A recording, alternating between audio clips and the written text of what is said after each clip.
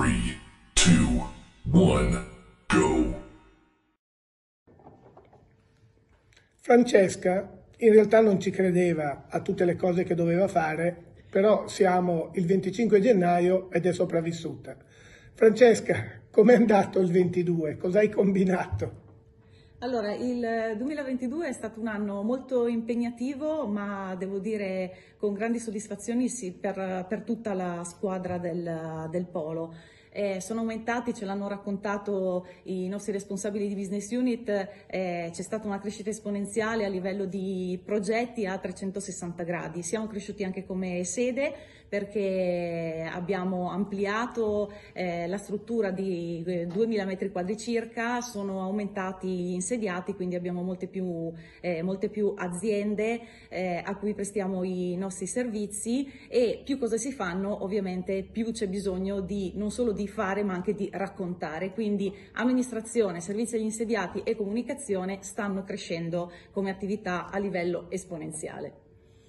Vedo, fai, vedere il tuo pollice, è una ferita legata... È una ferita di guerra. ha versato, una ferita ha, di, di guerra, sangue di rendicontazione. sulle rendicontazioni. Eh, c'è una cosa dove, dove sei impegnata, comunicazione, sì. perché è uno dei valori che dobbiamo sviluppare per i nostri colleghi, per i nostri soci, per i nostri insediati. Cosa vuoi combinare? Sì.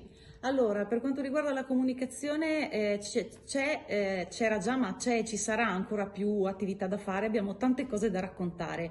Quindi c'è bisogno di potenziare la squadra, quindi ho in, eh, in, testa di avvalermi di stagisti piuttosto che figure junior perché abbiamo bisogno di raccontarci di più anche sui social network, quindi ampliare un po' quella che è la nostra comunicazione sui social.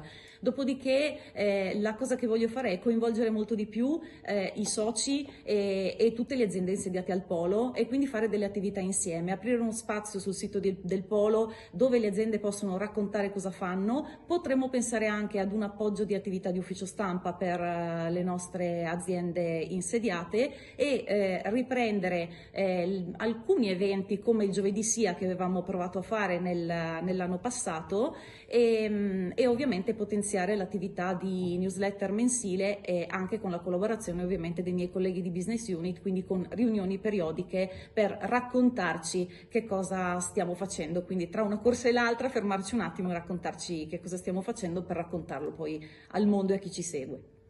Francesca, un elemento essenziale che conferma eh, l'importanza di essere fisicamente polo sì. è legato a momenti di contaminazione che sono anche il caffè al ristoro. Hai esatto. qualche cosa sul quale vuoi impegnarti per renderci, lasciami dire, più allegri, forse più felici? Qualche coniglio, qualche idea del cilindro?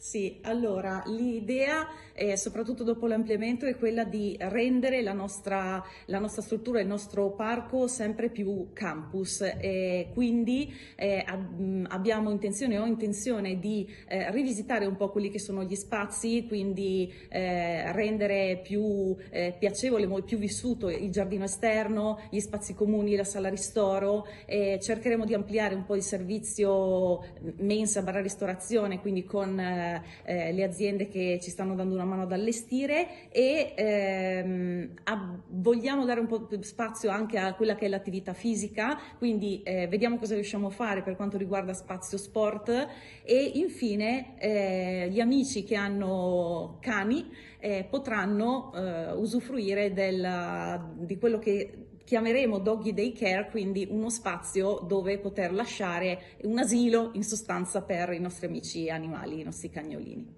Grazie Francesca, se qualcuno aveva dei dubbi sulla contaminazione potete vedere che è in atto. Grazie. Grazie, auguri.